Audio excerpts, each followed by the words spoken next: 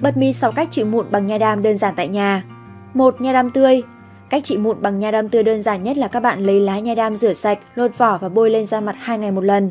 Thực hiện sau mỗi tuần bạn sẽ thấy hiệu quả rõ rệt, những nốt mụn trứng cá nhanh chóng biến mất, đặc biệt làn da của bạn trở nên trắng sáng và giảm vết thâm sẹo, chống nhăn da. 2. Nha đam và nước cốt chanh. Cách dùng: Nước ép nha đam hòa với nước cốt chanh. Sau khi rửa sạch mặt, các bạn sẽ thoa đều hỗn hợp trên da. Để khoảng từ 15 đến 20 phút cho da mặt khô, rửa lại với nước. Mặt nạ trị mụn bằng nha đam và chanh có công dụng trị mụn trứng cá, mụn đầu đen và kiểm soát chất nhờn hiệu quả. 3. Nha đam và mật ong. Cách dùng: Mật ong có công dụng sát khuẩn giúp làm sạch mụn, sát trùng da và tăng cường độ ẩm, do đó khi kết hợp với nha đam tạo thành hỗn hợp có tác dụng trị mụn cực kỳ hiệu quả. Cách làm nha đam và mật ong rất đơn giản. Lấy một lá nha đam rửa sạch, gọt hết lớp vỏ bên ngoài, sau đó cho thịt nha đam vào xong đun sôi với nước khoảng 15 phút, lọc lấy phần nước trộn thêm 4 thìa mật ong.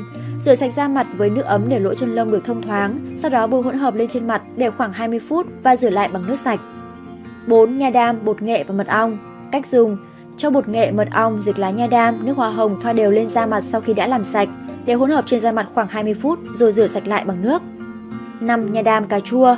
Cách dùng: trộn gel nha đam với nước ép cà chua theo tỷ lệ 1:2, trộn đều thành hỗn hợp đặc quánh. Rửa sạch mặt, thoa hỗn hợp lên vùng da bị mụn, để khô trong khoảng 20 phút rồi rửa lại bằng nước sạch, dùng ít nhất 2 lần một ngày. 6. Nha đam sữa chua. Cách dùng tách lấy phần gel nha đam rồi xay nhuyễn và khuấy đều cùng khoảng 3 thìa sữa chua không đường đến khi hỗn hợp trở nên sền sệt. Thoa hỗn hợp lên mặt trong khoảng thời gian 30 phút, massage nhẹ nhàng theo chiều đường tròn từ trong ra ngoài với các đầu ngón tay, sau đó rửa lại bằng nước sạch. Một số lưu ý khi trị mụn bằng nha đam tươi. Chú ý trước khi đắp mặt nạ các bạn nên rửa sạch mặt để tăng hiệu quả trị mụn. Sau khi đắp mặt nạ nên sử dụng kem dưỡng ẩm để tránh da bị khô. Nên thực hiện từ 2 đến 3 lần một tuần, tránh sử dụng quá nhiều sẽ gây tác dụng phụ. Chất nhựa trên nha đam có thể gây kích ứng da, do đó khi sử dụng mặt nạ nha đam thì các bạn nên rửa sạch bằng nước muối pha loãng hoặc ngưng sử dụng để theo dõi. Hy vọng những cách làm này có thể cung cấp cho các bạn những thông tin bổ ích trong việc trị mụn nhé.